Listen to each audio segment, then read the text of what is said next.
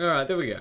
Anyway, um, yeah, so it's just, it's got all the usual functions from a, a calculator like this, you know, one and you got two and stuff, but um, we removed one of the channels to be dedicated to RAM, which is this here. So um, I'll just do a quick demonstration of that, then I'll get into the how the thing actually works and what the hell is underground. Alright, so we'll go one and a two. Oh, please note is that this um, it's kind of in an upgrade process. We're really upgrading the CPU as it's not supporting the RAM properly.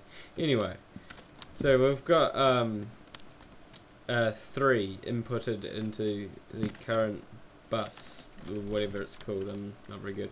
Um, so now we can go ahead and add to the RAM, which involves clearing it, clearing the current block, then applying whatever we've got in that into the RAM, which is 8 um, 8 bits, and we've got 4 four slots of 8 bits, which makes 16. No, which makes 8, um, 4 bytes of RAM. Anyway, so now we've got that saved into the RAM by pushing that button. We can come over here and disable it. Then we flick the switch and eventually, after quite a while, they'll come on. Yay! Um, so now we can do, no matter what, we can duplicate the RAM. So we've got that activated. Now we can come over to RAM slot number 2, uh, wipe it from previous experiments, and apply whatever's in that into it. So now, um, when we turn this one off and this one on, it should come back on. So there we go. You can also do things like um, 1 plus whatever's in slot 1 equals number. There we go. Yay. Uh, it pretty much works like that. Anyway, um, yeah, our problems with it, like the fact that you can't add stuff from slot 1 into slot 2 because they're all going into the same bus back to the adders so it doesn't work well yeah. Um, anyway. So now I'll, I'll go and explain it if that's possible really. I'm not too sure. So uh, the outputs it comes into the ripple carry adders. Yeah we're using ripple carry at the moment. That's why it's going under a big upgrade. Um, so basically just google it. I'm not going to explain those. Yeah anyway so coming along um, then what happens is we're only using one of the two um, inputs from the ripple carry adders to actually go into the um, yeah so only one of them is actually coming from the input.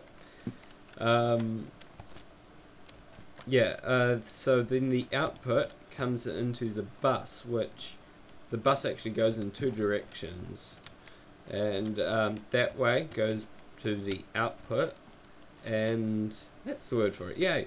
Um, and this way comes to the input uh, to the RAM which is quite a yeah it's confusing. Anyway. Do what now yeah. Alright anyway so here we are um, at the RAM. Stupid Windows updates. Anyway um, so what happens is it comes from this bus into the actual RAM unit and it goes into a um, vertical um, AND gate which is also connected um, and so they're all connected. So when um, so I think over, oh yeah, over here um, we've got uh, this is yeah this is one and two inputted. So um, as you can see here, when um, that the output here isn't on because the other input isn't running it. So AND gate, you know, just learn. Um, you know, it comes out of the gate into the RAM module, which is just a D flip flop. And I'm not going to really explain that as there are tutorials on how to do them on the internet and you can find them on the Minecraft wiki under advanced, uh, not advanced, it's just electronic circuits. Anyway, coming from the D flip flop, we come into the actual. Oh, behind this, we've got um, he here. This is um, the reset memory bus. Basically, it goes all the way back to the um, main hub, as you can see there. Yeah, it comes down and um, yeah, uh, whenever this powers up, it basically reverts what's ever saved into Um, the, in the memory back to what it should be at the start. And as you can see here, Yeah, these two are, are both um, saved into the RAM. And yeah, so anyway, Yeah, coming out uh, of here, no matter what's in the RAM, it outputs as on or off. Um, it- the- On is having be at the a signal. And so yeah, as you can you can see here, continues on are and on. saved into the Um, then it comes to And, this, yeah. which So is anyway, out of a here, no whole nother, in the RAM, it outputs um, as on or AND off. gate. Yeah, Um, that's right, AND gate. Yeah, um, and signal. out So yeah, from the AND gate, it dumps it back Um, it into this bus. this, Ah, Yeah, the AND, AND gate goes all the way back to the hub, um, and that's the um, That's right, AND gate. uh, apply um, current yeah. data into current from the AND gate, um, dumps sum. it back into So, this bus. Yeah, Ah, that's yeah, the AND basically AND that. Then it comes all the way down from this, to the hub. and the, over here, um, walk, walk, walk. Uh, um, uh, apply current then- data into yeah, then this dumps it back into uh, the so- second input, into the yeah, that's um, basically replicate that down from this.